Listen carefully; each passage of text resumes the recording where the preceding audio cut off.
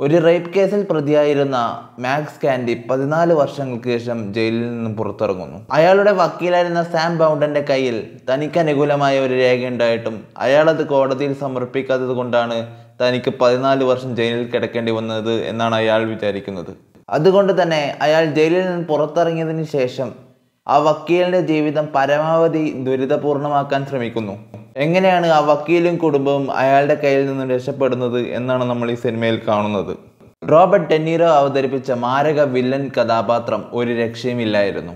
ഈ സിനിമയ്ക്ക് മുമ്പ് ചെയ്ത ടാക്സി ഡ്രൈവർ ഗോഡ് ഫാദർ എന്നീ സിനിമകളിലൊക്കെ ഒരു ഹീറോ അല്ലെങ്കിൽ ഒരു ആന്റി ഹീറോ കഥാപാത്രമായിരുന്നു. പക്ഷേ ഇതിൽ പക്ക വില്ലൻ ക്യാരക്ടറാണ്. പിന്നീട് എടുത്തു പറയേണ്ട ഒരു കാര്യമാണ് ഈ സിനിമയുടെ ക്ലൈമാക്സ്. ഒരു വോട്ടിനകത്ത് നടക്കുന്ന ആ ക്ലൈമാക്സ് ആണ് ഈ സിനിമയുടെ പ്രധാന ഹൈലൈറ്റ്. പിന്നെ ഏറെക്കുറെ പതുക്കെയാണ് സിനിമയുടെ കഥ മുന്നോട്ട് പോകുന്നത്. അത് എല്ലാവർക്കും ഇഷ്ടപ്പെടണം എന്നില്ല. ആയിരത്തി തൊള്ളായിരത്തി അറുപത്തിരണ്ടിൽ റിലീസ് ചെയ്ത ഇതേ പേരിലുള്ള ഒരു ബ്ലാക്ക് ആൻഡ് വൈറ്റ് സിനിമയുടെ റീമേക്കാണ് ഈ സിനിമ.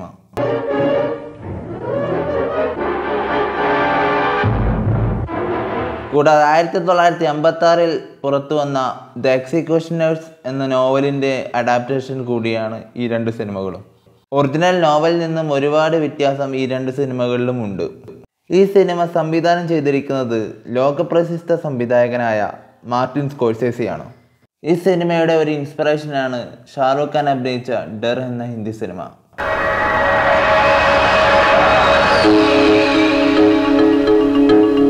ഈ സിനിമയ്ക്ക് ഐ എൻ ടി ബി ലഭിച്ചിരിക്കുന്നത് സെവൻ പോയിന്റ് ത്രീ റേറ്റിംഗ് ആണ്.